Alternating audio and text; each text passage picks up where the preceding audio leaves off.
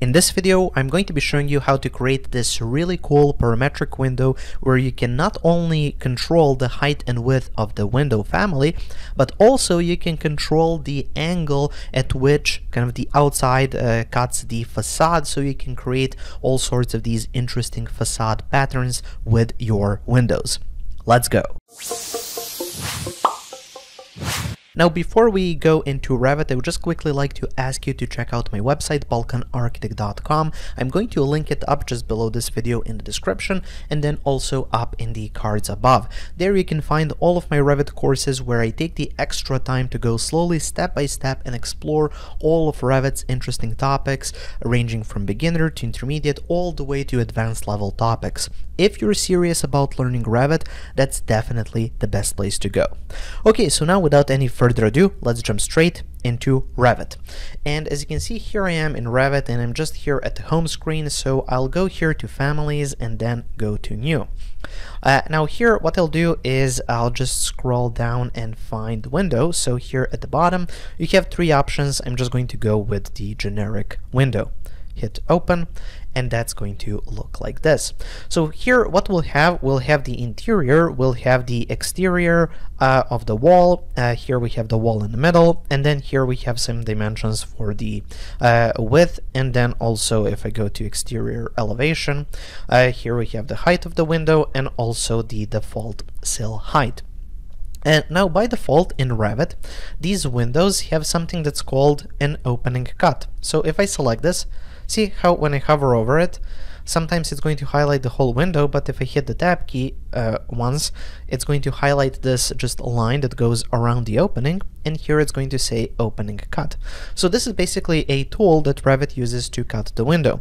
Now this gives us some limitations, so one of them is the fact that it's going to cut straight so perpendicular to the wall, it's going to cut straight through that. And that's going to be good in most cases. In this case, where we actually want to have an angled cut, well, we are going to have to use a different approach, and that is by using a void.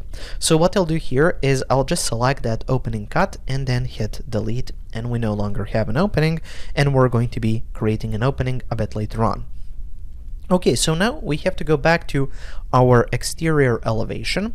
And now I just want to set some basically a frame.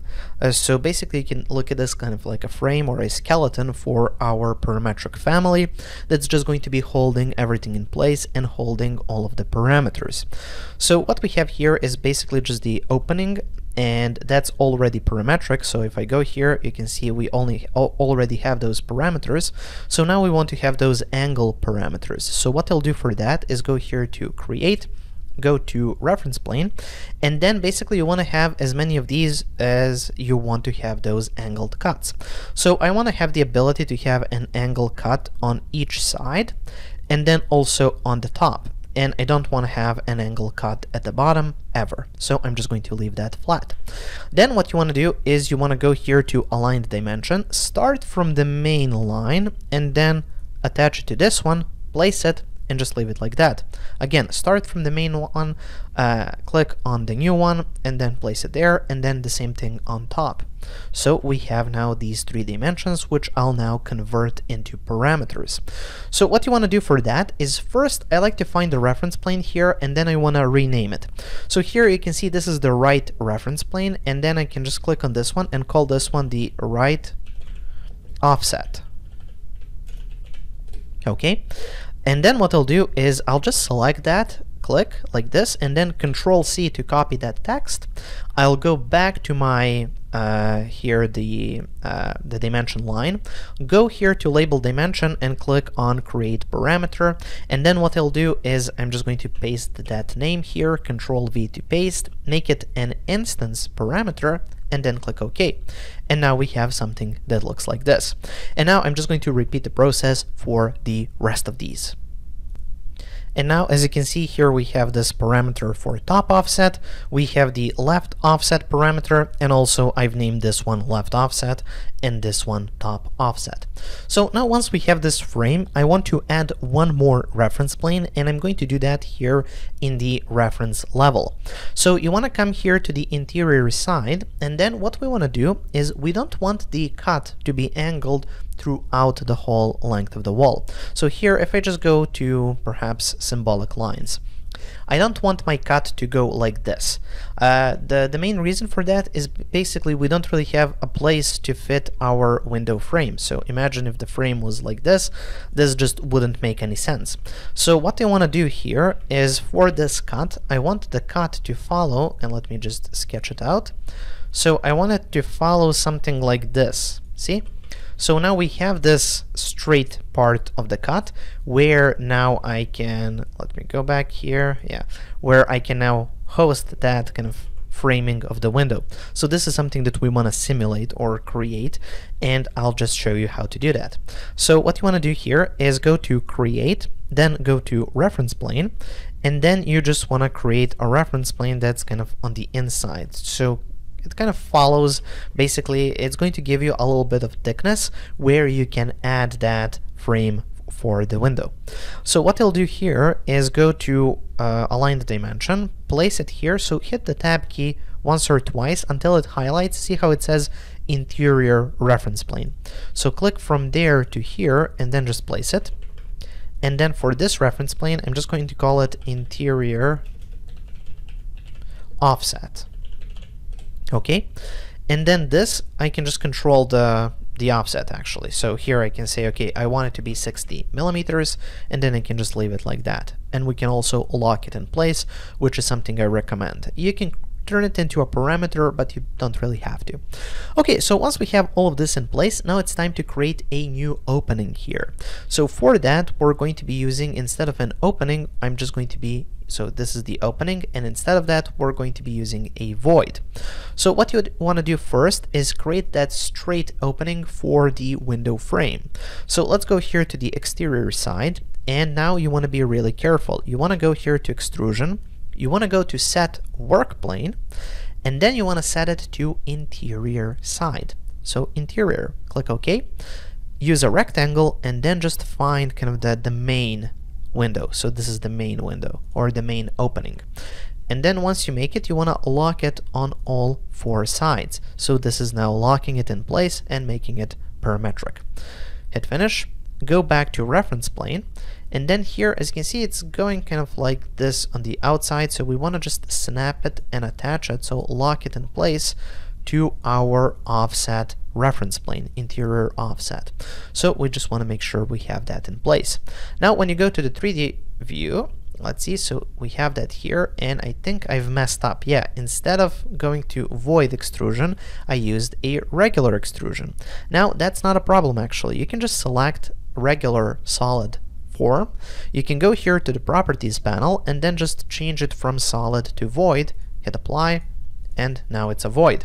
And now we can just use cut geometry to cut it from this wall. So now we have just that small straight cut that we want to see, and now it's time for that angled cut. So for the angled cut, what you want to do is go back to exterior, and this is where you want to be even more careful because you want to make sure that the reference planes that you set are correct. So you want to go here to void forms, you want to go to uh, vo let's see, void blend, click on that. Uh, now we're uh, editing the uh, kind of the bottom of it. So you want to go here to set work plane, and then you want to set it to interior offset, just like that. Click OK. Then you want to go here to rectangle and just place it on the inside, just like we did previously, and lock it on all four sides. Then you want to go to edit top, and then here you want to set the work plane to be the exterior side and then click OK. And then again a rectangle and now you want to use that big rectangle that we have created with our parametric reference planes and you just want to lock everything in place. And then here for the second uh, end we can just turn that into zero, hit finish and now if I go to the 3D view that should be now in place and it is. So see how we have this and also you want to double check here in the reference level, see how it's cutting exactly way, the way it should to the exact point. Well, it's not cutting, it's just there, but it's not cutting through the wall, so we have to cut it through the wall by using the cut geometry tool. select the wall, select this thing, and there we have our cut. And this is what our window looks like now. Now, of course, you can uh, control this angle by going here into the family types. Let's make this a bit smaller so we can see our window. There we go. So if I want my uh, left offset to be smaller, I can set that to 100 hit apply see now it's at 100 and I can even go down to zero hit apply and now as you can see it's straight there then for the top I can change the top offset to uh, 300 if I want hit apply see now that's up to 300 and then the right offset can be 250 hit apply. So you can actually play around with all of this. And then you also you can still control the height. So this can be 1600 hit apply. So it can go up and down. So you have basically full control over this uh, window. Now also if you select the wall and if you change the height uh, or the thickness of the wall it's still going to behave properly. Now this is actually called family flexing. So we're kind of flexing the family, making sure it doesn't break if you make certain changes. And in this case, it didn't, which is good. Okay, so here we have all of this in place and now it's time to kind of finalize the window by adding the frame and the glass. So let's go back down to exterior, go to create, extrusion, and then this will be set to uh, reference plane interior. Okay, click OK. And then just create a simple rectangle on the inside. Oops, so a rectangle on the inside and then lock that in place on all sides. And then what you want to do is create a new rectangle with an offset of, let's say, 40 millimeters or 50 millimeters, I don't know, that. Hit the space key to flip it inside. Now, obviously, I'm doing this really simple. You, you would probably use a frame that has a bit more to it, but in this case, let's just leave it as is. Now, uh, you just want to make sure to go to uh, dimension, go from here to here and then lock that in place go from here so make sure you use the upper one not the lower one this is the uh, offset and then this is just left so you want to go with left reference place it there lock that in place go from here to here lock that in place and then from here to here and lock that in place. Okay, now when we hit finish, we want to go to our reference level and just make sure we lock it in place here as well. So we have that, and then finally, uh, let's just add the glass, which is again just exterior, create, extrusion, rectangle, and just a simple rectangle there, and then again lock that on all sides.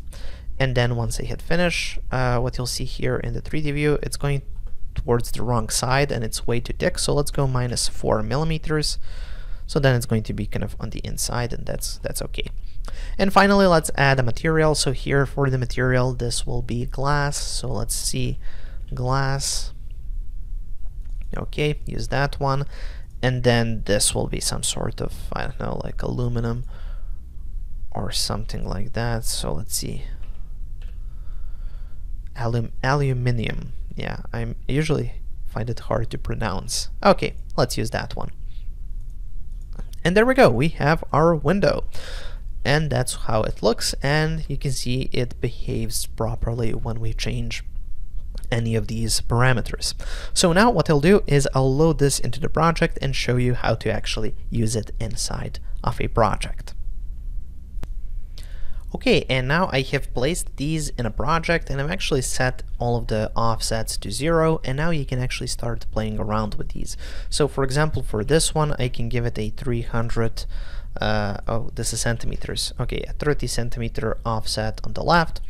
On this one, I can give it a, let's say a 20 centimeter offset on the top and on the right. Let's see what that looks like. Yeah, this one I can just give it a 40 centimeter offset on top to see how that one would look. And then this one will have a right offset of 30 centimeters and it would look like this.